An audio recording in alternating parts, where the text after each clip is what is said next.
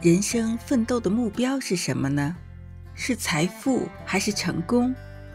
要我说，人生的终极目标是幸福。那么，什么是幸福？是什么阻碍了我们获得幸福？我们要如何获得长久的幸福感呢？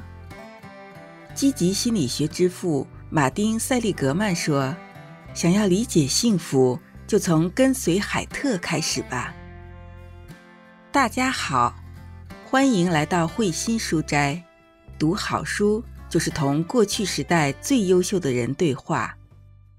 今天我们解读的书是《象与骑象人》。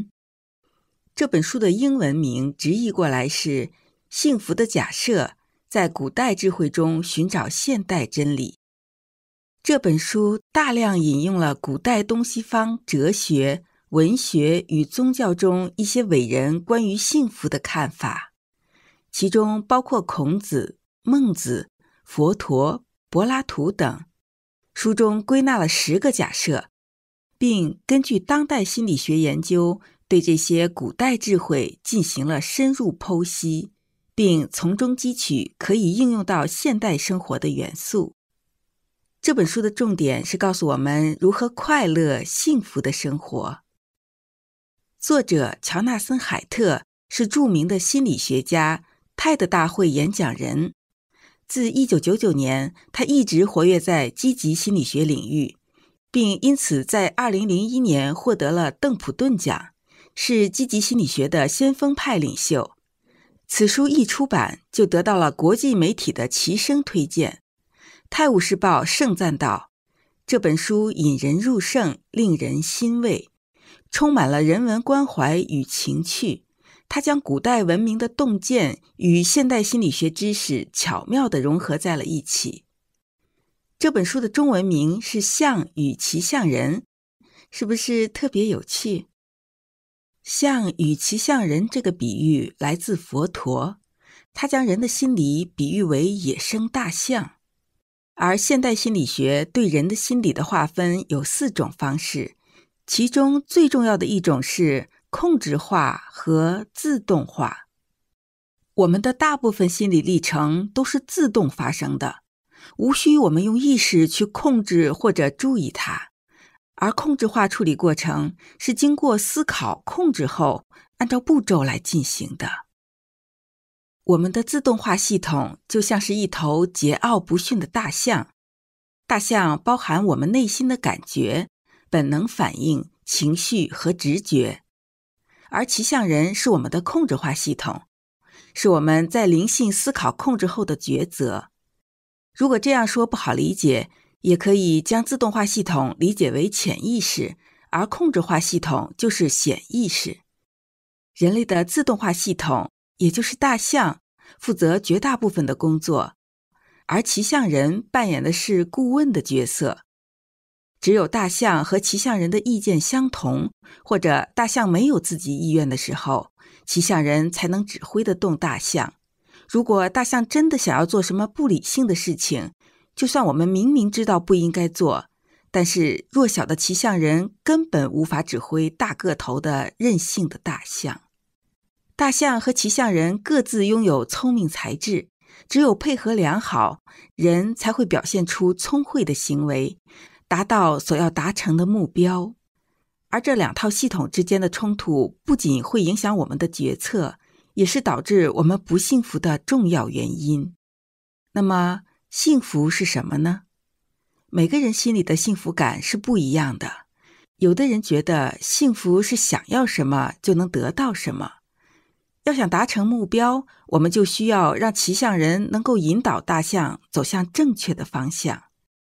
那么，我们首先要了解在心理上影响大象的三个原则，也就是让我们感到不幸福的三个原因。第一个是情感启动效应，在大象所用的语言中，最重要的字眼就是喜欢或者不喜欢。我们对于自己经历的一切事物，下意识的都会有喜欢或者不喜欢的反应。比如，我们自己的名字会启动我们大脑中的喜欢计量表。只要我们一看到或者听到跟我们的名字很像的词，我们心里就会对这个词产生一种愉悦感。人生的三大决定：做什么工作、住什么地方、跟谁结婚，居然都受名字的发生这样细微因素的影响。第二个呢，是负面偏好原则。无论是在动物界还是人类社会，在心理层面。负面偏好的原则都会充分的显现出来。人类的心理对坏事的反应，要比对好事的反应更快、更强烈、更持久。比如在股票交易中，赚了一万块和赔了一万块，赚钱的快乐远远比不上输钱的痛苦。第三个呢，是强大的遗传基因。大部分人并不清楚先天遗传的影响有多大。快乐其实是人的个性中最受遗传影响的特质，也就是说，我们的情感风格是基因里自带的。一个人平时的心情愉悦程度，有百分之五十到八十可归咎于基因，而非生活经验。这一点是科学家对生活在不同环境的同卵双胞胎进行研究发现的。既然我们了解了让我们感到不幸福、不快乐的原因，我们怎么能改变自己的情感风格，而让自己更加快乐呢？作者告诉我们三种方法。第一种是冥想。在解读《正念此刻是一枝花》这本书中，我们介绍过如何做冥想练习。有兴趣的朋友可以去听一下。如果能连续几个月都坚持每天冥想，我们心中的种种恐惧、焦虑、萦绕心头的负面想法就会大幅减少，我们的情感风格也会获得改善。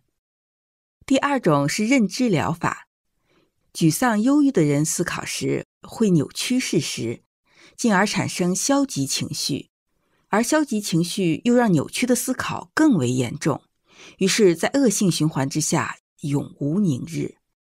认知疗法就是训练病人把自己的想法写下来，找出一件自己做的错事，并且承认自己的过错。这样做可以让一个人感觉到为自己的行为负责后的快乐，这就是荣誉感。之后就比较容易找出替代方案以及更正确的思考方式了。每完成一个小小的练习，内心就会感到一点点放松或者快乐。认知疗法教导骑象人如何训练大象，而不是直接跟大象说理，把大象打败。每次练习完后的一点点快乐，就像给大象一个香蕉来奖励它有好的表现。认知疗法的优点是，停止治疗之后，治疗效果会持续下去，因为大象已经被重新训练过了。第三种叫百忧解。这是一种抗抑郁症的药，我就不详细介绍了，毕竟是药三分毒嘛。总之，想驯服大象，就要用对方法；想改变自己的心理，要一步一步慢慢来。下面我们来说说幸福来自何处呢？东西方古人都认为，追求财富、名誉之类外在的东西，到头来都是一场空。想要获得幸福，就必须放弃对外在事物的追求，而去寻求内心的喜乐宁静。积极心理学认为，幸福是可以用公式来量化的。这个幸福公式是：幸福持久度等于天生遗传的幸福的范围，加上我们的生活条件，再加上我们自己可以控制的因素。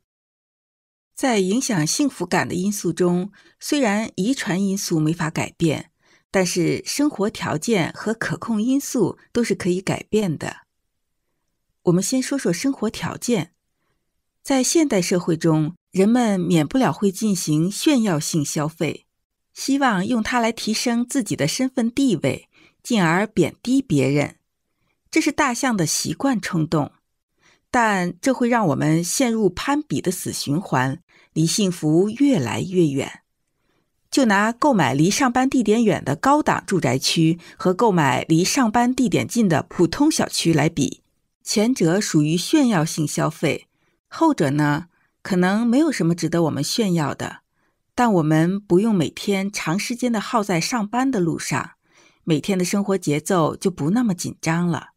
由此带来的幸福感是真实而且持续的。所以，我们要避免炫耀性消费，把注意力放在对生活条件实实在在的提升上来。我们再说说提高幸福感的可控因素。积极心理学认为，当人们找到能发挥自身优势，并且全身心投入的挑战中，比如打篮球、画画、写作，或者养成一个新的好习惯等，都可以提高幸福感。为什么这么说呢？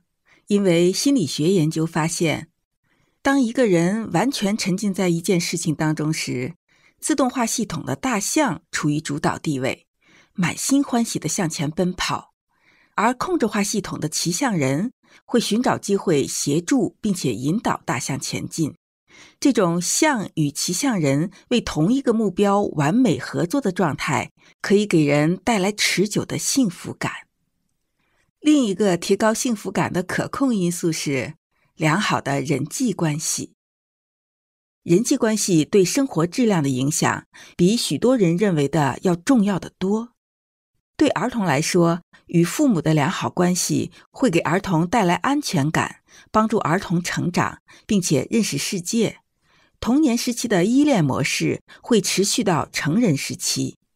在婚姻中，夫妻关系。和父母幼儿关系有许多相似之处。研究表明，幸福的人比较早婚，而且比那些幸福起点低的人婚姻更持久。人是社会性动物，我们每个人都渴望在群体当中获得归属感。现代医学研究还发现，良好的人际关系可以提高个人的免疫能力，延长寿命。建立良好的人际关系最简单的原则就是互惠原则。这个原则能对人际关系产生巨大的正面作用。关于互惠的内容，我们在《影响力》一书中已经详细的解读过了。人际关系的改善、工作环境和生活环境的提升，这些外在因素对个人的幸福都有很积极的影响。那么，什么是提高幸福感的内在因素呢？那就是自我提升感。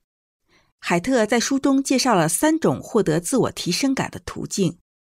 一种途径是去见证美德。当我们从他人身上感受到勇敢、慈爱和同情等美德时，就会放下防卫心，并感受到幸福。第二种途径是去寻求敬畏感。当人们面对超越自我的宏大事物，比如壮丽的大自然或是了不起的观念时，因为感受到自己的渺小和对方的压倒性力量，就会从心底产生敬畏。比如爱因斯坦的相对论就会让许多人产生敬畏感。这时，象与骑象人这两个分裂的自我将重新组合成一个圆满的整体。人们会觉得自己宛如新生，不再有任何的迷茫和怀疑，并感受到前所未有的满足。第三种获得自我提升感的途径是融入群体，为一个共同的目标去努力。心理学家发现，当我们和其他人一起为了同一个目标共同努力时，团队成员之间会形成一种和谐的凝聚力。